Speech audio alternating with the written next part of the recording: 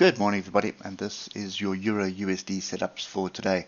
So uh, when yesterday started it was looking like it was actually going to break to the downside of, um, of the level we were looking at yesterday. But uh, again there's a perfect lesson in how this market works. Uh, moving averages are crossed over pointing up and uh, you're coming back to test a strong area of support at 107.354. On the 8 hour you can see it's pretty clear second attempt down, big engulfing bar, and that's my trigger now to be long. And uh, my move should be along these lines because that was the move up. There's my flag, my flag break. So there's my ultimate target, but I would argue you got a little bit of chaos ahead of you.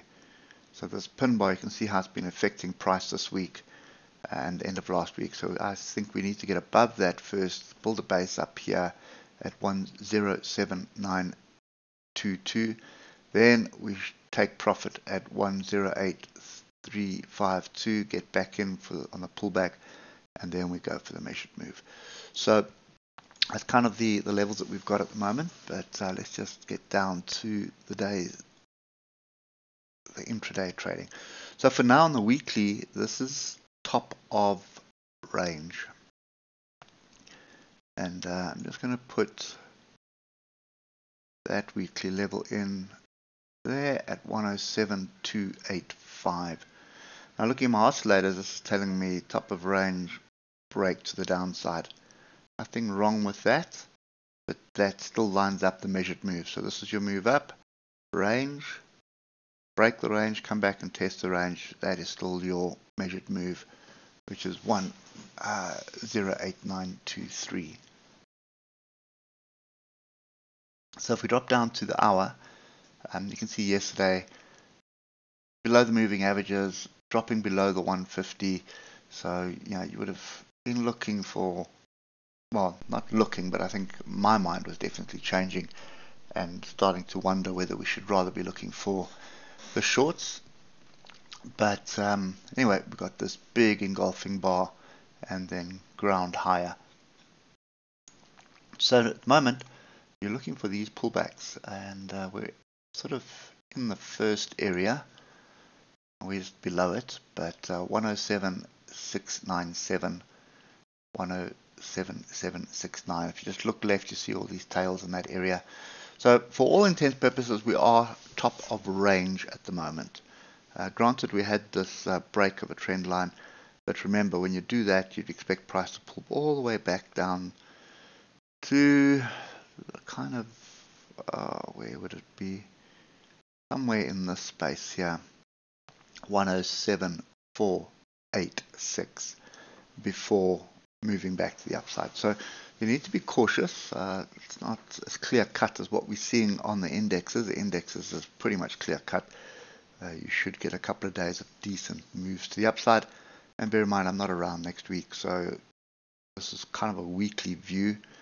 And uh, the weekly view for me is if we just clear 107.922, come back and test it, then it's definitely onwards and upwards, and that should be the range break and uh, you should be pretty much fine on that kind of trade. Uh, for today, strong move yesterday, then we sort of flattened out going into the close, but look at my oscillators now, all grouping to the, to the bottom, crossing over. We're in amongst the moving averages here. So this uh, 107769, I want to see price come up, come back and test it. Then I'm looking for a move up. First profit area is 107922 break that, retest that, then I have a much better structured move all the way up to 108.352. And then obviously reject that, find a base on whatever base has been built. Uh, look for the second move there. If we get through, then you're holding on and you can probably add if you wanted to, or just take profit at the next level, drop back down, and then onwards and upwards. So basically rinse and repeat the whole week as it moves to the upside. Now, from a weekly perspective, you can see we're coming back into this the area of the moving averages, but look at the oscillators here. This is setting up quite nicely and you've got a weekly trend line which uh, could also influence things. And you can see, make sure I've got that exact, no I don't.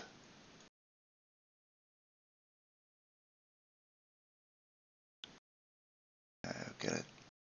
We'll get it now, just give me one sec. Oh, it doesn't want to go there.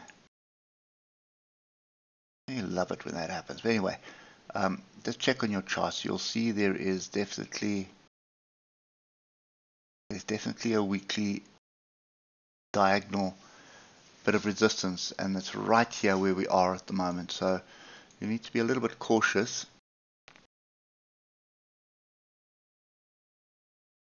Oh, yes, you're not going to really see it there. Let's see if we can pick it up on the three hour.